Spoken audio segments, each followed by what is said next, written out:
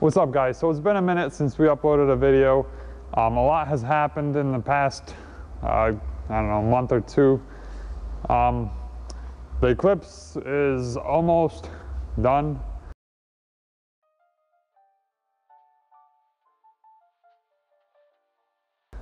Uh, I do have some video of when I was working on it, but I was just trying to meet a deadline. Uh, I was trying to take it to Ocean City for H2O. Uh, however, unfortunately, uh, that didn't happen.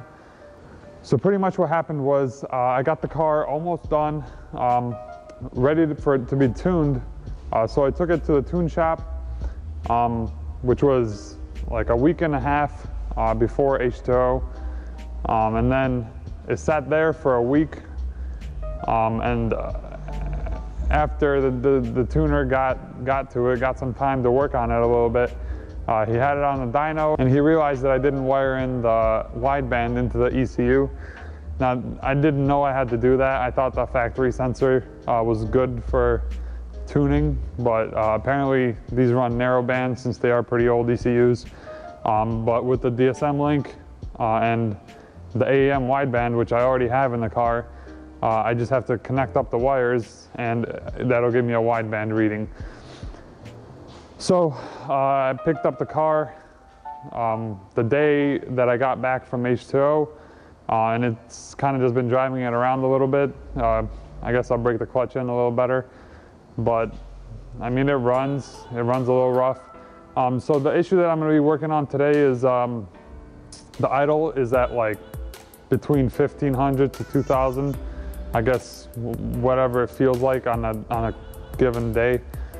Um, so I'm gonna try to adjust the BISS screw, uh, which, I mean, I don't really know much about it or how to do it, but uh, there's a write-up that I'm gonna be following, and uh, hopefully uh, with the video you guys can follow along if you ever need to do that to your car.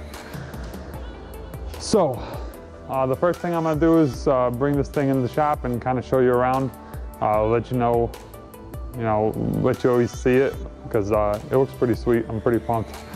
But um, yeah, so uh, I'm about to bring it in and uh, then we'll walk around it real quick and get it to adjusting this screw.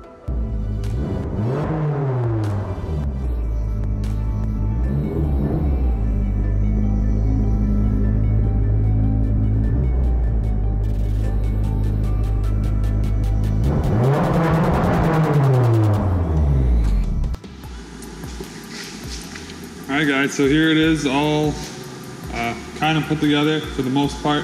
Uh, still miss, missing a few pieces here and there, but uh, yeah, this is how I, I took it to the tune shop and I haven't been really working on it past couple days, but uh, I do need to get it done soon, so yeah, so it was pretty sweet.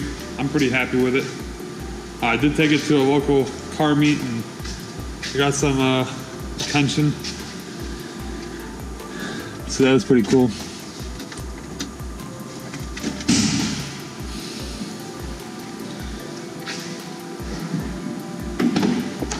But yeah, um, so here's what it looks like in the engine bay. I'm pretty happy with it. Um, so the screw that I'm going to be adjusting is going to be that one right there, I believe. Um, and that should uh, change my idle, hopefully. I got to drop it down like 1,000 RPM, so. All right, guys, so uh, in a minute here, I'll, I'll, let you know all the tools you're gonna need. Uh, hopefully I have everything I need. I, I have the ECMLink. I, I know, I read online that you need some sort of diagnostic tool, which is like expensive or something like that. but I, I, think with the ECMLink, I should be able to uh, ground out the ECU pin and uh, uh, adjust the screw. So hopefully that'll work. So yeah. Um, let's get to it then. All right, so in order to do this, you're gonna need uh, a laptop and hopefully the ECMLink will work. I think it should, but uh, I'm not sure. I'm gonna give it a try. And uh, I think it's just a screwdriver and you should be able to adjust it. Um, the engine has to be, from what I read, the engine has to be at operating temperature. Uh, no lights on or anything like that. Anything that would uh, create a load on the engine. And yeah, so you're gonna start up the car. Give me one second.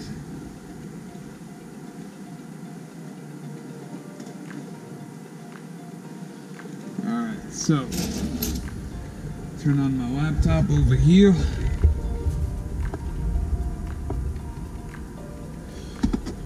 Uh, plug in my little uh, DSM cable. Here it is. That plugs in right over here somewhere underneath the. That just plugs in right underneath the dash over in the corner. 2,000 years later. I'm gonna stick my head under there.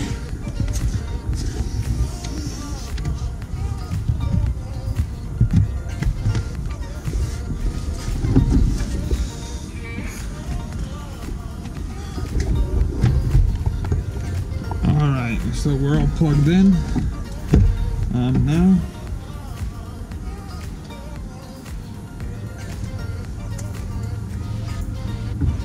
Gonna have to start up this vehicle.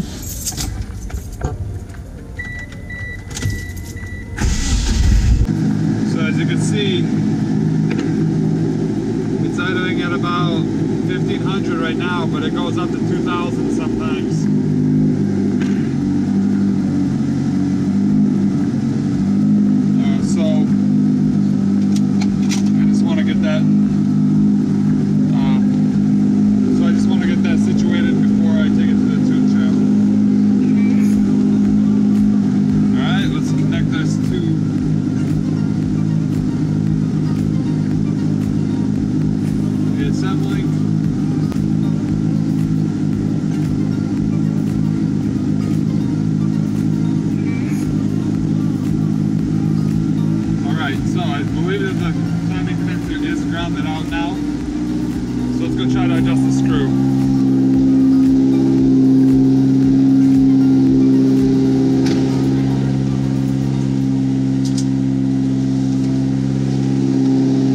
Much better. yeah, so here it is. So again, all I adjusted was just this one screw right over here. Um, for some reason, mine was all the way out, which makes sense then that the idle was so high. But yeah, this is what it sounds like from behind. Sounds pretty dang good.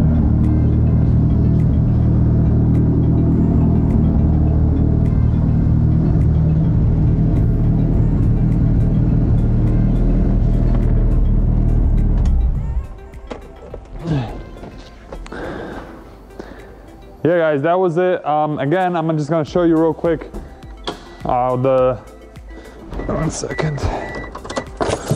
So the if you guys have ecm link um, i believe that what you need to do uh, before adjusting that screw is just go onto um, the underneath the miscellaneous uh, tab.